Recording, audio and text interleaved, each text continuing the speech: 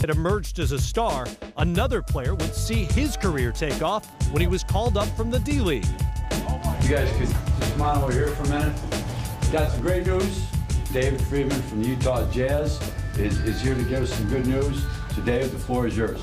Hi. Um, we're uh, have the intent to sign Sundiata Gaines to a uh, contract. tell you welcome to the Jazz. Congratulations to you.